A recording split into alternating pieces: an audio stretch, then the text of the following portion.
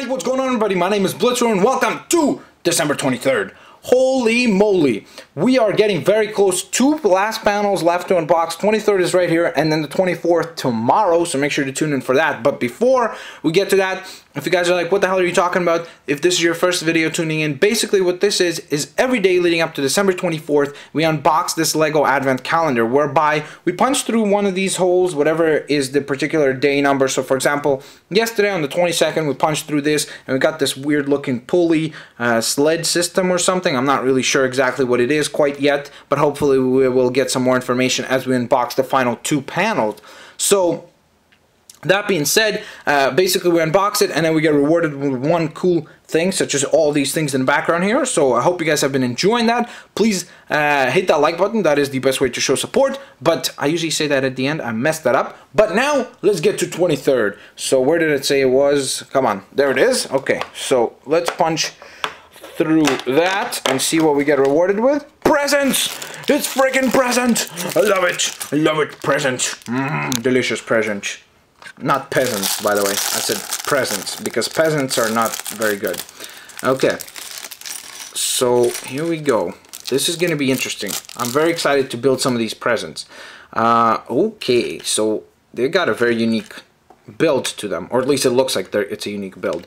Okay, so it looks like we're going to get one green and yellow. Uh, oh, it's like that song, green and yellow, green and yellow. What a horrible song, by the way. Well, in my opinion. Uh, so one of the gifts is going to be blue and white. So I'm going to separate them, the blue pieces and all that. And then the other one is going to be uh, green and yellow. So here we go. So the assembling process though, I just want to make sure that I'm actually getting all this right. So it looks like basically what we're going to do is we're going to kind of switch colors the whole process to make it look cooler. So here we go. I'm going to be mounting those pieces over here. So as you can see, that's the bottom. Then the top is going to be done with flat tiles, or one by twos, except for the middle tile, because the middle tile is going to be, it's going to have that little uh, single piece on top of it. And then, oh, okay, cool. And then we just use one of these, and we just kind of plop it in sideways. Come on, there we go. Awesome. Oh, okay, I get it. You put the gifts on the sled now, don't you? Can you do that? Can you do that? Please tell me you can do that. Awesome, look at that. That is very cool. So, I mean, there has to be something to carry this, or I don't know. I, I would assume that that's where Santa Claus will be, or whatever, on the 24th. I don't want to spoil it, but I hope so. Uh, so we've got a cool little uh, rectangle piece left over if you lose one, or if you want to make more gifts. I guess that's useful to have the extra little piece, which is nice. So let's now assemble the green gift as well. The gift from Jamaica, man. Okay, I just insulted everybody who's from Jamaica. I'm sorry, guys. Okay, so let's assemble this bad boy. Same process, same exact steps. Now, if you wanted to, I guess you could mix it up. Like you could go like, instead do yellows on the outside if you have additional yellow pieces and uh, just kind of mix things up to have a little bit more of diversity. And then we pop a yellow ribbon on top. Got to turn that sideways though.